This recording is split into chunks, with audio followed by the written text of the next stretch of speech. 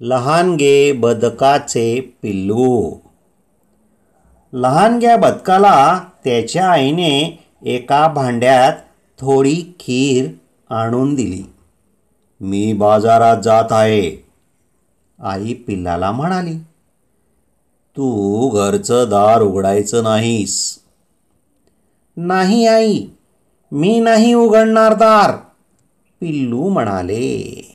थोड्या वेळाने एक लोभी कोल्हा बदकाच्या घराजवळ आला. पिल्ला दार उघड तो म्हणाला. पिल्लू म्हणाले नाही मी दार उघडणार नाही. कोल्हा म्हणाला अरे हे बघ तू माझ्या लोसलोशीत शेपटीवर बस. आपण दोघेही तलावात पोहायला जाऊया. हे ऐकून पिल्लाने दार उघडले. कोल्हा आत आला. लोभी कोल्ह्याने पिल्लासाठी ठेवलेली सगळी खीर खाऊन टाकली. बिचारे पिल्लू दिवसभर उपाशीच राहिले. दुसऱ्या दिवशी बाहेर जाताना पिल्ल्याच्या आईने त्याच्यासाठी एका ताटात थोडा भात करून दिला व म्हणाली मी शहरात जात आहे. लक्षात ठेव. घराचे दार अजिबात उघडू नकोस. कोल्हा परत आला. अरे पिल्ला दार उघड बघू. तो म्हणाला. पिल्लू म्हणाले नाही मी दार उघडणार नाही. कोल्हा म्हणाला तो बाहेर ये. माझ्या मऊ मऊ पाठीवर बस. मी तुला बागेत खेळायला घेऊन जाईन. हे ऐकून पिल्लाने दार उघडले. दार उघडताच कोल्हात आला.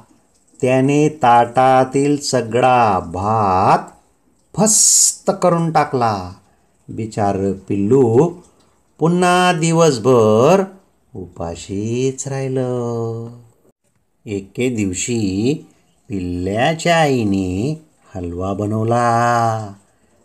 हे बघ हा हलवा मी तुझ्यासाठी बनवला आहे. मी शेतावर कामासाठी चालले आहे. लक्षात ठेव घराचे दार बिलकुल उघडू नको. आई पिल्लाला म्हणाली. पिल्लाची आई शेतावर गेल्यानंतर लगेचच कोल्ह्याने दार वाजवले. अरे माझ्या पिल्ला दार उघड. तो म्हणाला नाही नाही मी आता बिलकुलच दार उघडणार नाही. पिल्लू म्हणाले अरे असे काय म्हणतोस? बाहेर ये माझ्या मजबूत खांद्यावर बस. आपण दोघेही उडत उडत आकाशात फेरफटका मारून येऊ आणि चंद्रावरही फिरायला जाऊ. परंतु पिल्लाने यावेळी दार उघडलेच नाही. लोभी कोल्हा खूप वेळ घराचे दार वाजवीत होता व दार उघडण्याची वाट बघत होता. पिल्लाने मात्र दार न उघडता घरात बसून सगळा हलवा खाल्ला. आता लोभी कोल्हा दिवसभर उपाशी राहिला.